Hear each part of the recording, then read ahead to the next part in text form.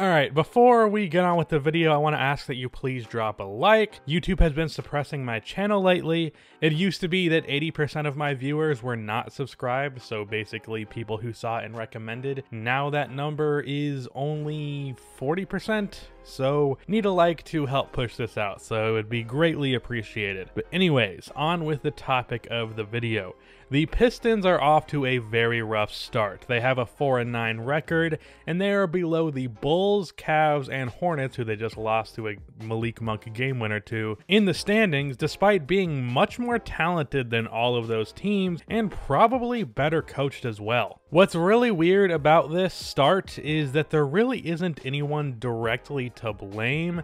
Drummond is having probably the best statistical year of his career so far, averaging 19 points and 17 rebounds a game. Derrick Rose has been fantastic for them, averaging 18 points and 6 assists on 54% shooting. Luke Kennard is having a career year with 17 a game, shooting 41% from 3 on 7 attempts, finally becoming that JJ Redick type of player that he's supposed to be. Also getting 4 assists a game because he is more versatile than JJ Redick offensively. Langston Galloway, who is pretty much seen as a whatever player on this team, is doing amazing. T him, Tony Snell, and Markieff Morris are all hitting their threes at a high percentage. 46% on 5 attempts for Langston Galloway, 46% on 5 attempts for Tony Snell, and 41% on 4 attempts for Markieff Morris, who was originally seen as pretty much a stretch 4 that can't shoot but he's been shooting well this year. And Christian Wood, who they picked up from the Pelicans, has been very good off of the bench. Wood was someone that I thought a team should take a crack at, and the Pistons were the one to do so. He played really well with the Pelicans in like 15 games last year, put up like 17 points per game. So I was glad to see him get an opportunity, and he's played really good for them as a pick and roll big man also shooting well from three on limited attempts, albeit. Injuries have been the only real factor here. Blake has only played in two games, Rose has only played in eight games, and Reggie Jackson has only played in two games. And speaking on Reggie Jackson, I did want to say something about him, and that is that people need to stop disrespecting him. People are acting like he is just a straight up bad player and the Pistons are better off with him not playing. Derrick Rose is definitely better. I do think Derrick Rose should still be a bench player because he wants to win a Six Man of the Year award, and I do think he's best in that role. When Reggie Jackson comes back, I do believe he should start. Reggie's a good playmaker, became a surprisingly good shooter last year, 37% on like 7 attempts a game. Uh, all right defensively. I mean, he's not great. He's definitely overpaid, but I don't know why people shit on this guy so much. He's an all right point guard. Far from my first pick for my starting point guard spot, but also not my last. So him being out is important to this team because he is a solid starting level player, and when you're as lacking in depth and talent outside of the top two that this Pistons team is, you need that guy. So he is a factor here. Even if this team was fully healthy, and even if they were, let's say, 500, what are we doing here? Like, where is this team going? Now, I think it's fair to say that the Detroit Pistons as an organization have been pretty okay with just being a mediocre team. I think they showed showcased that by trading for Blake Griffin. As soon as they traded for Blake Griffin, I was like, yeah, well, they're okay being a six seed every year. I guess they've just accepted that.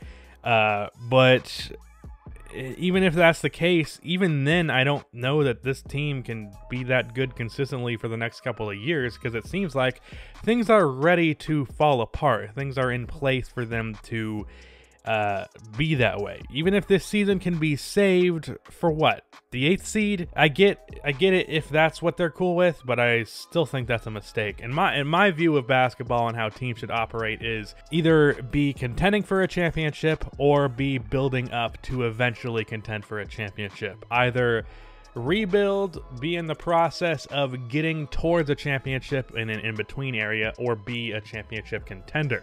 If you are neither of those three things, you are wasting your time. And the reason I say that this team looks like it's about to fall apart regardless Andre Drummond is 26 years old and he is in the last year of his contract. This is the first time that he's going to be an unrestricted free agent. He's the best rebounder in the league, became a pretty solid defensive player, great in the pick and roll. He's going to get a decent bag, especially with a very lacking in depth free agency class. He's also said that he's looking forward to free agency, which pretty much implies that he is either going to want to get a shit ton of money from Detroit or he is looking forward to getting out of there because he wouldn't say I'm looking forward to free agency if he's planning on just coming back to a team friendly deal on the same team. Another factor here is that Blake Griffin is 30 years old and he has shown throughout his entire career that he is very injury prone. It's an unfortunate truth that Blake Griffin has injury problems, and as he gets older, you can only expect them to get worse. Derrick Rose is not going to get much better than he currently is, and he is also another injury concern. You can never really count on him playing any more than 60 games during a regular season, and there's always the playoffs as well if they made it there. And everyone besides for Christian Wood and Luke Kennard are pretty much what they are, with no realistic chance of getting that much better. I think Luke Kennard has a chance to become a solid scorer in the NBA, but nothing crazy. Christian Wood, a really good backup big man, and that's about the depth of their young talent. Everyone else on this team is either established or just bad. Shout out to Thon Maker. So what we have here is a team full of veterans, uh, not a whole lot of depth, a very poor bench unit, and I also see a team that's pretty much hit its ceiling give, you know, Luke Kennard two years to be better, but maybe Blake Griffin's not as good when he's 32 and has dealt with more injury. Uh, maybe, you know, I'd imagine Andre Drummond pretty much stagnate from where he is now. So it really does not seem like this team is getting any better, and even if the players that I don't think have much more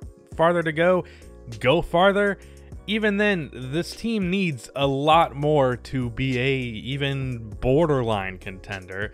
So in my opinion, they need to rebuild. Now, the good thing here is that they do have enough assets to actually get a solid head start on their rebuild. That's one of the things I liked about the Chicago Bulls is that they had a star player going into their rebuild that they were able to trade. Whereas you think as a team like the Philadelphia 76ers, they really had Jrue Holiday who was injury prone and all they got out of him was Nerlens Noel. It's nice to have a couple of established players that you can turn into young assets assets or draft picks. And luckily enough for the Detroit Pistons, they do have that. It's not like they're starting from scratch, although they could be if they keep holding out, which is a thing we'll get into in a second. I only really have two trades that are really big here, and I think are the ones that make the most sense for both sides uh, for how they could start their rebuild. We have Blake Griffin to the Portland Trailblazers for Zach Collins and Anthony Simmons. Uh, I'm sure many of you want me to talk about Carmelo Anthony to the Blazers, and here's where I'm going to say it. That's not going to work out because Carmelo Anthony is not that good anymore. I don't even know if I'd say he's good anymore. So he's not the solution to all of Portland's problems. Portland needs some more bigs because Zach Collins and Jusuf Nurkic are out until at least 2020. Uh, they also need some more scoring outside of Dame and CJ. If Rodney Hood is your third best scorer on your team, that is a concern he should be the best scorer you have off of your team's bench, not your third, not your go-to option after Dame and CJ. And the Pistons would get back Zach Collins and Anthony Simmons, as well as probably a first round pick. Zach Collins has potential to be a very versatile big man, uh, not really great at anything, but also not bad at anything. And Anthony Simmons has a lot of potential to be even, I would say, a star level player. Anthony has a great jump shot, he has great size, he could play either guard position. He has a great handle, knows how to attack the basket. He's shown really good signs for the Portland Trailblazers so far this year, and I do think he had I do think he has star potential, and it's not really going anywhere in Portland. So you might as well, you know, give him a shot. Then another trade I have is one that I did in my Warriors rebuild, which was Andre Drummond to the Warriors for D'Angelo Russell. Like I said, Drummond is on the first year of his deal. I do feel like because of that, this trade might not be possible because the Warriors might wait to trade D'Lo for the offseason, and because they're tanking, they're also probably going to be looking at James Wiseman, who is a center, so trading for Drummond does not make as much sense there. Now that I'm saying it out loud, it does not make as much sense for the Warriors to pull off this move, but maybe if they're not looking at James Wiseman, I have heard some concerns about him as a prospect, then they could make this trade for Drummond, re sign him in the offseason, bring in some draft prospect to go along with Curry, Clay, and Drummond, fill out their bench with some role players, bring back Andre Iguodala, and I think that's a solid rebuild for them right there. And then from the Pistons perspective, D'Angelo Russell is a young star. I am hesitant on how good I actually think he can be, especially with his inability to draw fouls, because I do think he's holding himself back as a scorer and he can never be that efficient because he is afraid to attack the basket and because he is pretty much entirely, his game is pretty much entirely based around jump shots. However, He's a young star. I still think he can be an all star level player in the Eastern Conference, so it's not the end of the world. Also, a good playmaker. And then Derrick Rose, I think you could get a first round pick from a contending team, maybe even a young player from them. Uh, I think maybe like the San Antonio Spurs, you get a first round pick from them and like Luka Samanic or whatever the hell his name is pronounced. Uh, there is that option. Uh, I do think you can get something for him, and there's no real reason to keep him at the age that he is, so make that trade. And then for what the young guys they already have right now, Luke Kennard, like I said, is solid. Um, if they made these trades, D'Angelo Russell, I think, is a solid young star. Anthony Simmons has potential to be really damn good. Zach Collins is a versatile big man. And I think Christian Wood has some potential. He's young, he's athletic, he's pretty well versed offensively, he can grab some rebounds. And I think that's a decent young core. It's a bad roster and it's not a good fit, but you could get a high draft pick, land James Wiseman, Cole Anthony, or LaMelo Ball. I do realize we're stacking up a lot of point guards at this point, but I do think D'Lo can play the two, and Cole Anthony and LaMelo Ball can both play off of D'Lo and vice versa, so that wouldn't be a problem. Anthony Simmons would be the odd man out there, but maybe he ends up being better than D'Lo or Cole Anthony or LaMelo Ball or they draft someone else. Uh, those are really the only three names that I've been hearing about, so that's who I'm talking about. There's a lot of point guards in this draft, so they might want to, rather than take on Anthony Simmons, take Nassir Little, but I would probably prefer Simmons just because he has a way higher ceiling, and I don't think Nassir Little's actually that good. But you get a decent young core there, and you just go from there. They can start a decent rebuild with the assets they have, but a year from now, Drummond will probably be gone, Blake will be even older, Rose will be older, and the roster won't be any closer to contending. We're really at a critical point here where you can cash in on your assets now, or you can be like the Memphis Grizzlies and all you get back from Marcus Gasol is Jonas Valanciunas. So, rebuild, Pistons. I guess that's my message. But that's the end of this video. Please be sure to like and subscribe for more NBA content like this, and cue the outro music.